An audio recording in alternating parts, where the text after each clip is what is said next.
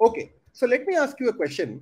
What is conceptual design? This is the iceberg image where the tip of the iceberg, three, four layers are present. Correct. Have any of you asked yourself this question that why does Uber have a map like interface? Why can't it be a listing structure? Why can't it be some other kind of interface? Why do every cab application in the world have a map like interface?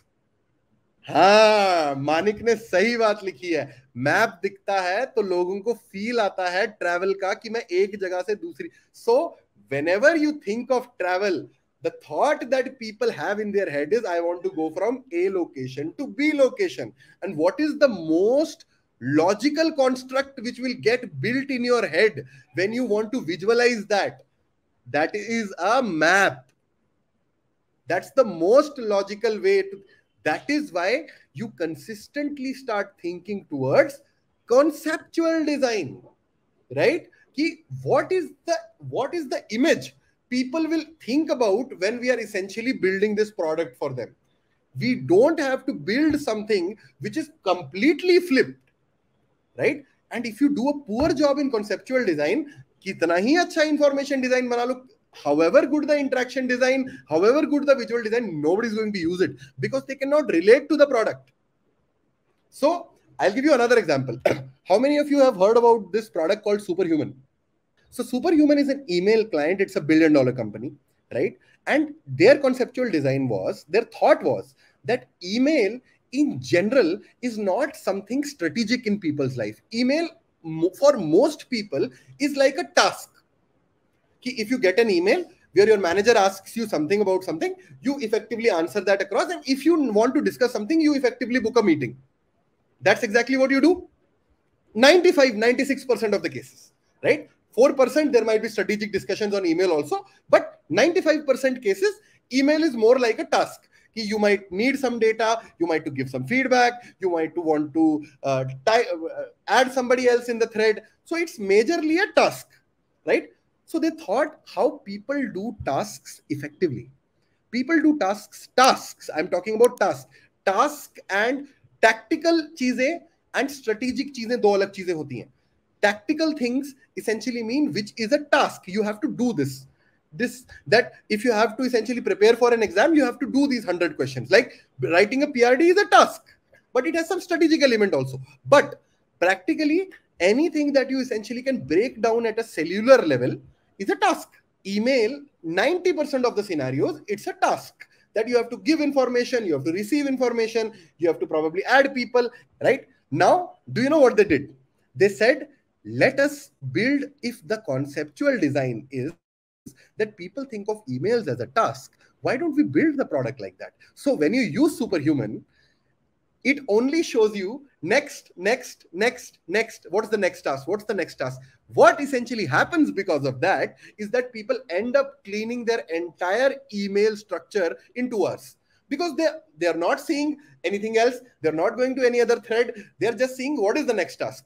I want I want to do the next. I want to do next. I want to do next. And essentially, if you have ten things to read, you essentially cover all ten. So, from a conceptual design perspective, they did a lot of research to understand how people perceive because their goal was very clear.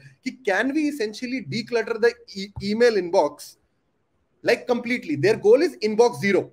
Inbox zero basically means a point where you essentially see zero mails, zero unread mails in your inbox. और ये मेरे साथ भी कभी नहीं हुआ I'm sure nobody in the group who is actually studying there, they might have an inbox zero.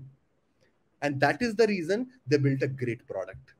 They spent considerable time on conceptual design. And they said, then the second part is information design. How do we effectively build conceptual design? We will discuss karenge. We will we will discuss all of those things. How do you figure that out? There's a process. But what is conceptual design? ये बात सबको clear है. Conceptual design is the first segue to understand how a consumer might perceive a solution to work that what is the image of the solution when you essentially want to present it to the consumer that is formed in their head based on their intrinsic motivations or whatever and whatnot right that is why conceptual design is really important to understand how the consumer is actually perceiving it सो संयम से भैया फिर जैसे Swiggy वगैरह में maps show होता है for delivery guy Zepto नहीं शो करता then it's a concept okay so interesting thing so why doesn't Zepto do it because the point is for zepto their promise is that we'll deliver it in 10 minutes. Why do you even care then? Why do you really want to see a map if, if it gets delivered in 10 minutes? Because their value prop is different right? From a conceptual design perspective if i say that something is getting delivered to you in 10 minutes you would not care where, it, where it's coming from right? You would say that 10 minutes to hai. But if if i make this 10 minutes to 1 hour at that point of time you would want to see ek ghanta hai yaar. To mujhe dekhna hai ki where is the person? Why is the person stuck there? Because it's taking time. It's a longer time. But if it's like 10 minutes you why do why would you care? I'm being very honest about it right? Agar main aaj ki date Sayam, uh, if I tell you that I'm going to teach you how to crack a product interview in 10 minutes versus I am going to take 16 hours, right? Where would you plan your structure better? I'm asking a simple question. There's a solution which helps you crack product management interviews in 10 minutes, and there's a solution which helps you crack in 16 hours, right? in 16 hours you might have to figure out your structure your how, are you available are you not available all of those things right but if in 10 minutes would you even care do you even want to see it from a conceptual design perspective that how the structure of the course would be and stuff like that right it doesn't matter right understood so that is conceptual design. The next part is information design. Information design essentially means on your application right how do you structure information so that it becomes consumable for the end user in the easiest possible way right? What i mean by that is the same example that i gave you make my trip. The same example that which i gave you across for make my trip. Why do you essentially see that make my trip or any website has the first thing in information architecture as from to why can't it be something else so information design basically means what relevant information would you show on the face of the product so that the final value from an information structure perspective becomes easier to discover. Right? Again, I'll put it across. Go to amazon.com. You see why search on top of it? Because that is how information design is that people essentially come with an intent of searching something. And they essentially go there and they search it across. agar unne search hi gayab kar di hoti and if there, there was no search on amazon don't you think the discovery of things would have been very less? Right? If there was no search on amazon.com would you be ha have been able to discover the products that you essentially wanted? Absolutely.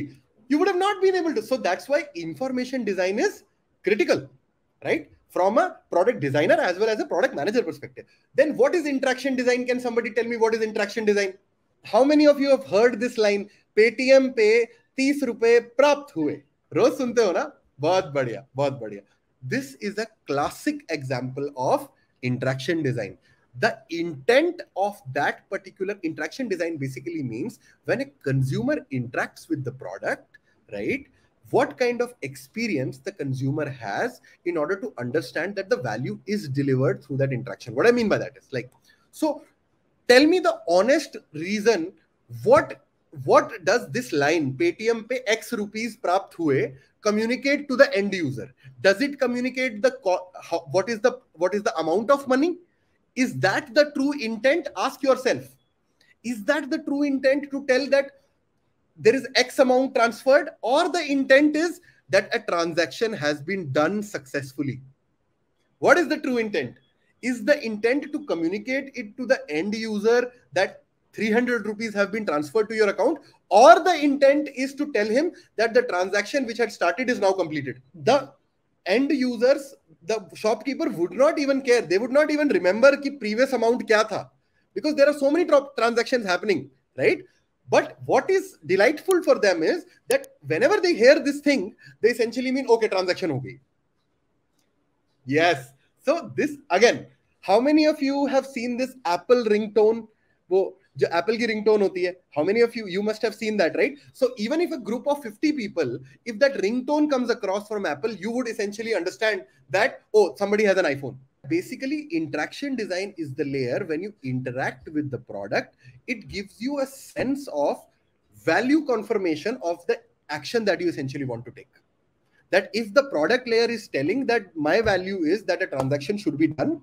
how does the interaction effectively tell it to the end user that the actual this value has been done or not अब visual design तो तुम्हें पता है उसमें तो तुम महाराज हो एवरीबडी इन इन योर की यूआई तो तुम सबको आता ही है तो मैं विजुअल डिज़ाइन एक्सप्लेन नहीं करूँगा but you should definitely learn the principles of UI design it can it can have color theory what colors are good it can be about spacing of buttons it can be a bunch of things abcd whatever not really worried about that so these are the four layers of product design that essentially a product manager or a product designer has to consistently think about in order to deliver that value. A product sense question is primarily at a product thinking level that, okay, what can be the solution?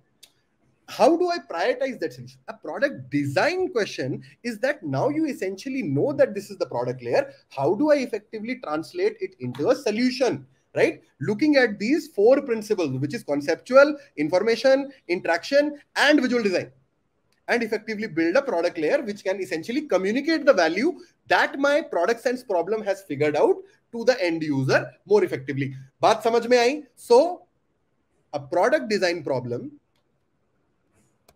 a product design problem is is about how do you effectively translate your product layer solution using the principles of product design, which is conceptual design, information design, interaction design, and visual design to come up with a design layer which communicates the value of the product in the least possible effort. What I just want to tell you across is that this is also something that, but not everything is like a product design problem, right? What are not product design problems? Like if somebody tells you how to make a landing page or how to make a edtech app or how to make an app like swiggy do you really think it's a product product design problem? Like if i tell you design an better experience of swiggy's order booking flow do you really think it's a product design problem? The reason it's not a product design problem is because of the very same fact that the mental models or the conceptual design of an order booking flow is already prefixed. It's already prefixed, right? So when there is not enough discovery from a consumer or a conceptual design perspective, right? Then you're essentially building the UI. Practically. Yep. You're practically building a new UI for them with some changes, with some button flow or something like that, some changes in interaction design. But truly, it's not a product design problem product design problem is when you have an ambiguous product products and solution. And then you say i will build some and then you will learn product design. How do i think about conceptual design? But if something is already pre-built by thousands of engineers right their collaborative effort is anyway going to make so whenever these designers come to me and they say we have redesigned the netflix experience i say dude does it even make sense to even do that? Right? Does it even make sense to do that right? You might bring up improvements and stuff like that and whatever and whatnot, right? that is all fine. Agreed. But on a practical basis, it's not a problem that you should solve for to learning product design. That's product improvement, or if you want to do something exactly, Nikhil is right. That is something like you want to do make a product improvement, you can definitely do that, right? But there are hundreds of engineers which have already come up with a thought thought process that this might be the and it is used by millions of users right? So you cannot make fundamental changes to the conceptual design layer right? Ideally try to do those problems. Like i'll give you a product design problem. How do you design a bathroom for blind people? Assume you are a pm for dlf okay dlf that basically the real estate company. You are told that there is a large market based out of India for blind people using bathrooms. Currently, the problem is they are effectively in need of someone else to guide them, which leads to no confidence building, making them believe they are impaired, and embarrassment. So you are told design a bathroom for blind people so that they can effectively use the bathroom on their own. Now there are two constraints. Don't come up with outlandish solutions such as I will build a moving chair